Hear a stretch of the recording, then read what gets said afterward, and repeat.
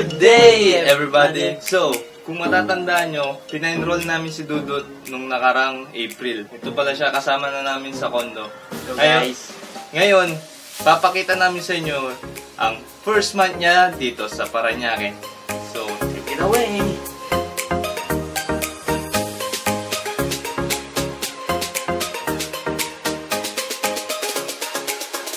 ako nga pala si Ludi Santos.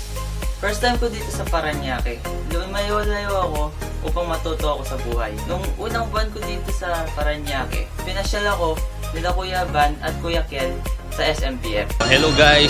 So, nandito kami sa SM. Pinapasyal namin si Dudut ngayon. SM ano? SMBF. Napuntahan na niya yung SM Sukat. So, SMBF naman. Ah, nagdidingin kami ng ano, ng washing machine, tsaka ng plancha. Dudut, ano masasabi mo sa SMBF? Mas malaki kaysa sa Tarlac. Ah, first time niya kasi pumunta dito. At unang week niya pa lang dito sa ah, Manila. Kaya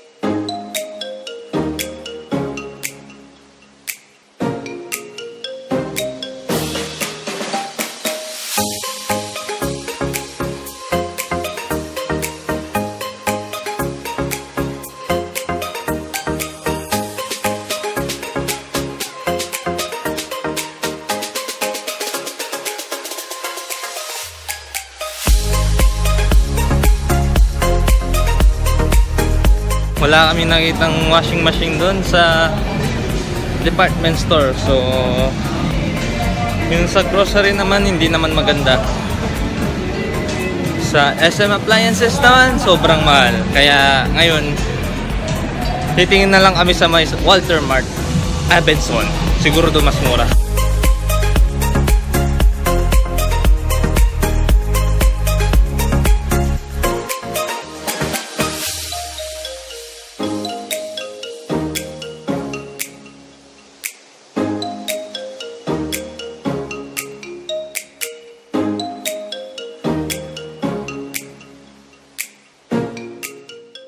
After nung week na yun, dinala naman ako ni Kuya Van sa cash and carry. Hindi ko hindi namin kasama nun si Kuya Kiel dahil may shoot siya. Pupunta kami ng ano, cash and carry. Bi- bibili si Dodot ng ano, whey protein niya. Kasi mag- magigim na daw siya. Okay guys, bye-bye. Ah, cash and carry, dalawa. Cash and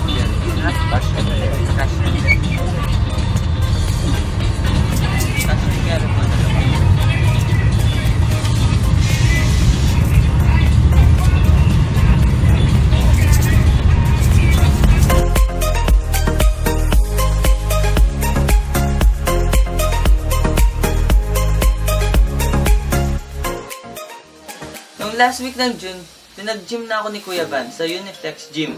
Maganda ang gym na yun para sa mga nagsisimula. Dahil may mga trainer doon na handa kang gabayan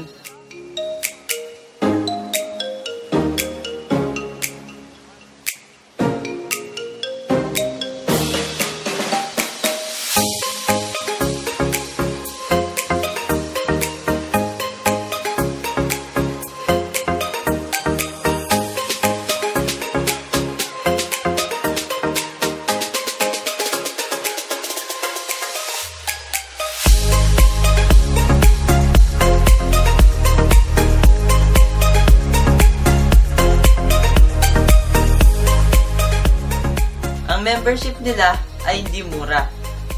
Dahil high class gym na rin sila. Kahit mahal ang binabayad mo, sulit naman. Dahil magaling ang trainer doon. Yun nga pala yung unang buwan ni Dudut dito sa Paranaque. Marami pang mga mangyayari at makikita nyo dito sa video kasama siya. So, I hope you enjoyed our video. Click that notification bell to keep you updated and don't forget to like and subscribe. Peace!